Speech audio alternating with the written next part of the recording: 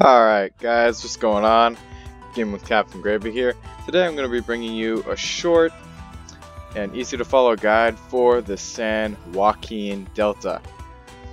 Now this place is pretty much an amazing, this is one of my favorite places for like amazing fish fights because the big species they have here. Let's just take a look. We got, nope, not bluegill. Chinooks, we've got common carp, they can get pretty big also. Largemouth bass only reach common. Common carps, like I said, can be pretty big, but if you get the uniques, those can be close to 80 pounds. Steelheads as well. Big fish, big fight. Same with the striped bass and big sturgeon as well. So what we're going to be focusing on today is the main money and experience farms which is Chinooks. Um, we also got, like I said, Steelhead and Striped Bass. Common Carp are easy to get also, or easier, but they're more of an experience more than anything, but we're just going to focus on those three predator fish today.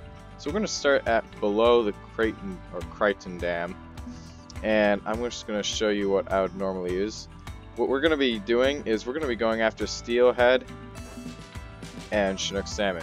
So I recommend nothing less than 20 pounds if you want a decent fight, but you want to bring it in as well. And you'll use the three foot crankbait, that's what I found works best. It says you won't be able to cast it very far.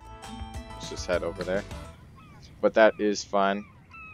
It'll get plenty far. All we need to do is just... There are two places you can go.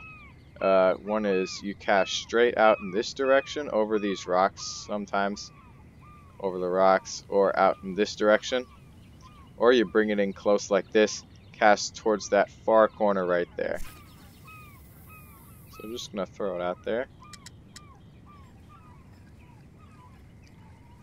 I'll come over to the side like this. Like I said, it's plenty far with this setup.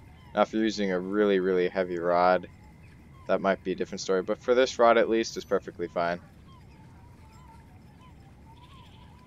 And I might not catch every... Already, spoke too soon. Fish on the line.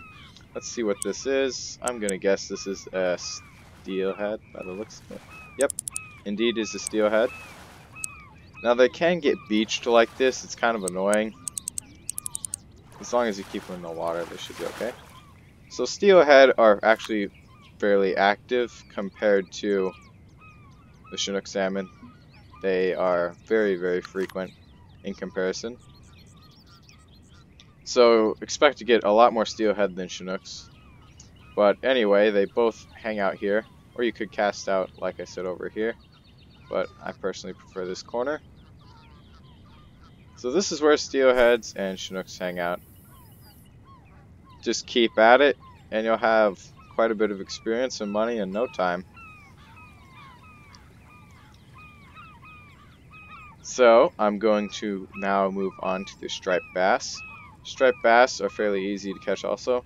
In this whole video, the only lures I'm going to be using are the crankbaits. So you can try them out for yourself, but I think that crankbaits, in my opinion, work the best here. They just seem to, they're super easy to retrieve. Stop every now and then if you so desire.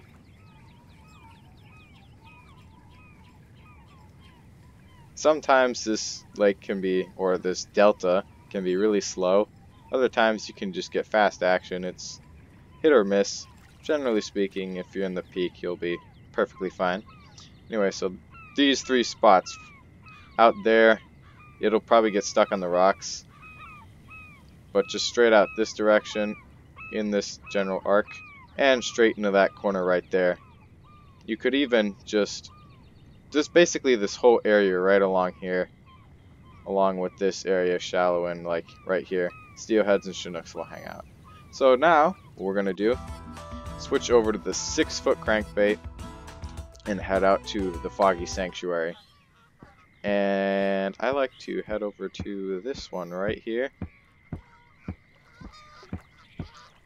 And we're just gonna cast straight out like this.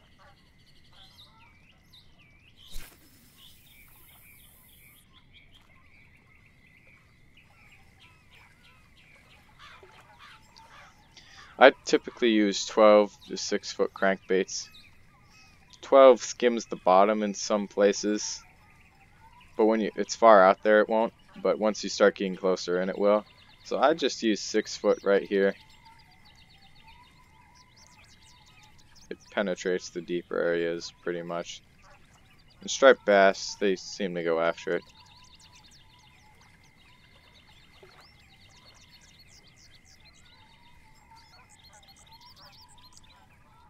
Oop, There's just something missed there. Only a striper.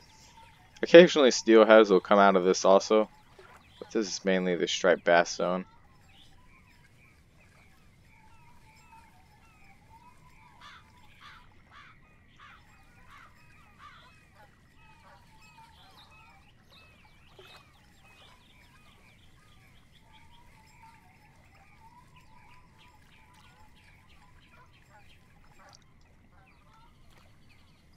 I think this is just part one of this guide. I think I'll bring out the other species as well. Maybe show you how to catch the, definitely the common carp, because those are another big one. And if I can, the sturgeon. Sturgeon are just kind of a hit or miss. They're pretty difficult to get. I've only caught one here, but that's, I only know of one spot too that works. I'll put that in there. It just it's that one spot. Sturgeon are kind of all over the place. Kind of wait a while, but once you get one on, oh boy, you are in for one heck of a fight.